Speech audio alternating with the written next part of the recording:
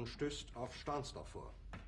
Der Feind operiert jetzt am nördlichen Stadtrand zwischen Frohnau und Pankow und im Osten ist der Feind bis zur Linie Lichtenberg-Marsdorf-Karlshorst gelangt. Mit dem Angriff Steiners wird das alles in Ordnung kommen. Mein Führer, Steiner. Steiner konnte nicht genügend Kräfte für einen Angriff massieren. Der Angriff Steiner ist nicht erfolgt.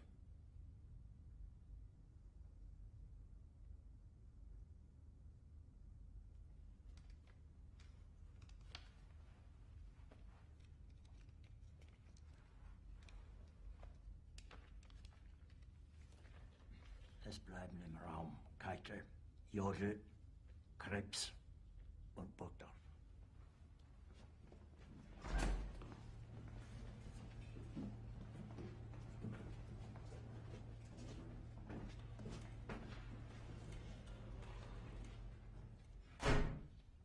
Das war ein Befehl! Der Angriff Steiners war ein Befehl! Wer sind Sie? Dass Sie es wagen, Sie meinen Befehl zu widersetzen! So weit ist es also gekommen. Das Militär hat mich belogen! Jeder hat mich belogen, sogar die SS!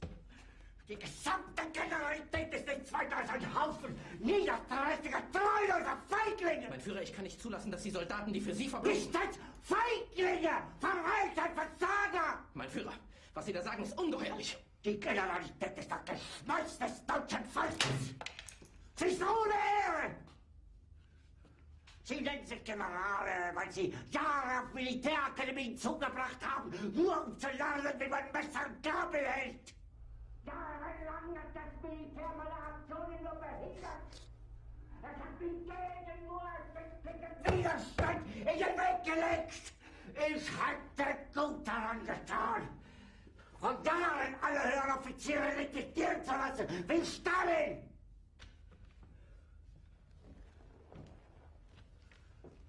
Ich war nie auf einer Akademie. Und doch habe ich allein, allein auf mich gestellt, ganz Europa erobert. Verräter! Von allem Anfang an bin ich so verraten und betrogen worden.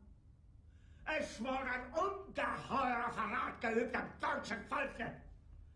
Aber alle diese Verräter werden bezahlen. Mit ihrem eigenen Blut werden sie bezahlen. Sie werden das saufen in ihrem eigenen Blut. Bitte gerne. Jetzt beruhig dich doch.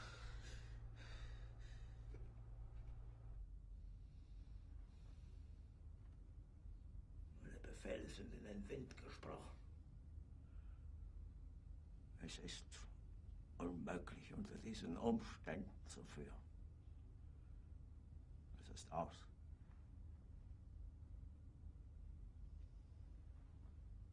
Der Krieg ist verloren.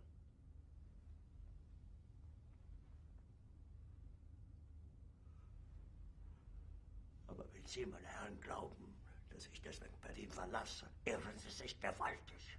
Eher jage ich mir eine Kugel durch den Kopf.